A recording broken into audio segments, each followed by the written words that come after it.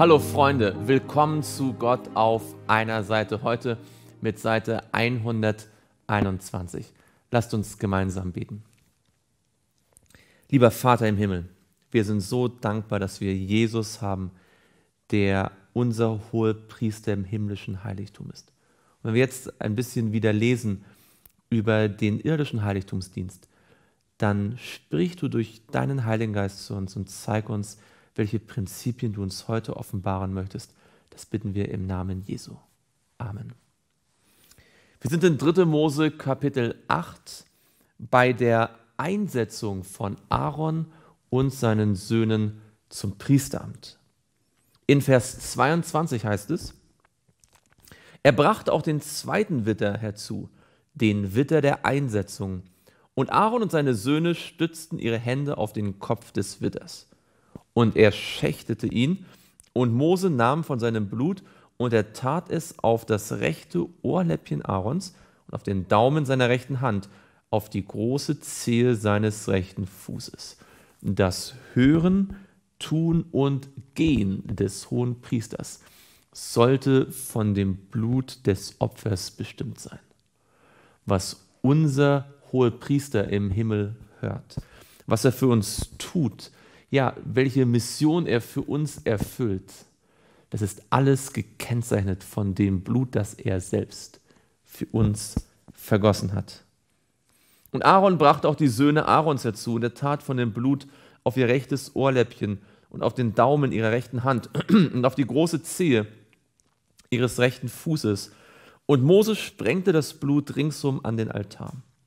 Und er nahm das Fett und den Fettschwanz und alles Fett an den Eingeweiden und den Leberlappen und die beiden Nieren mit dem Fett daran und die rechte Schulter.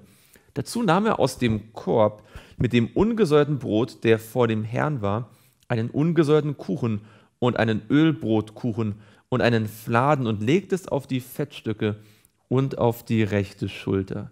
Und er legte das alles auf die Hände Aarons und auf die Hände seiner Söhne und webte es als Webopfer vor dem Herrn. Danach nahm Mose das alles wieder aus ihren Händen und ließ es auf dem Altar über dem Brandopfer in Rauch aufgehen. Das war das Einsetzungsopfer zum lieblichen Geruch, ein Feueropfer für den Herrn. Und Mose nahm die Brust und webte sie als Webopfer vor dem Herrn. Das war Moses Anteil von dem Witter der Einsetzung, so wie der Herr es Mose geboten hatte.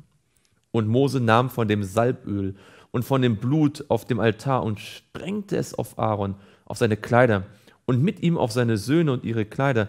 Und er heiligte Aaron und seine, seine Kleider und mit ihm seine Söhne und die Kleider seiner Söhne.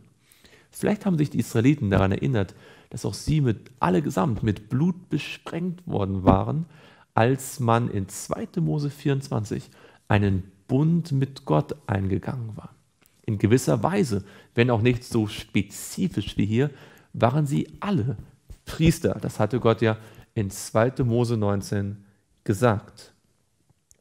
Und Mose sprach zu Aaron und zu seinen Söhnen, kocht das Fleisch vor dem Eingang der Stiftshütte und esst es dort.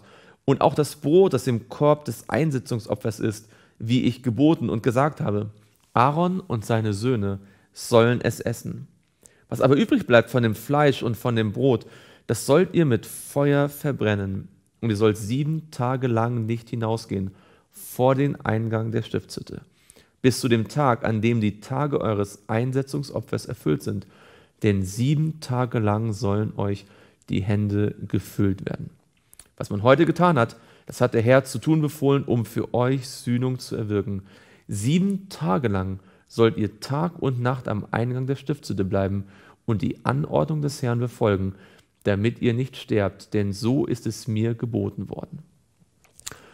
Offensichtlich war das Amt des Priesters ein sehr wichtiges. Es konnte nicht sorglos angenommen werden. Es musste ganz genau befolgt werden, was der Herr diesbezüglich angeordnet hatte. Dem Volk sollte bewusst werden, das Amt des Priesters ist eine äußerst heilige Angelegenheit. Und Aaron und seine Söhne taten alles, was der Herr durch Mose geboten hatte. Und es geschah am achten Tag. Da rief Mose Aaron und seine Söhne und die Ältesten von Israel zu sich. Und er sprach zu Aaron, nimm dir ein junges Kalb zum Sündopfer und einen Witter zum Brandopfer, beide makellos, und bringe sie dem Herrn dar. Und rede zu den Kindern Israels und sprich, nehmt einen Ziegenbock zum Sündopfer und ein Kalb und ein Lamm, ein Jahr und ein Kalb und ein Lamm, ein Jahr alt und makellos zum Brandopfer. Ferner einen Stier und einen Witter zum Friedensopfer, um sie vor dem Herrn zu opfern, und ein mit Öl angerührtes Speisopfer, denn heute wird euch der Herr erscheinen. Was für eine wunderbare Verheißung. Heute wird euch der Herr erscheinen. Und sie brachten, was Mose geboten hatte, vor dem Eingang der Stiftshütte, und die ganze Gemeinde trat herzu und stand vor dem Herrn. Da sprach Mose, das ist es, was der Herr geboten hat, das sollt ihr tun, so wird euch die Herrlichkeit des Herrn erscheinen. Noch einmal, wenn wir das tun, was Gott in seinem Wort sagt, wenn wir wirklich gewissenhaft seine Satzungen einhalten, dann werden wir die Herrlichkeit Gottes in unserem Leben sehen und, und, und spüren und erleben dürfen. Das habe ich in meinem Leben immer und immer wieder erlebt.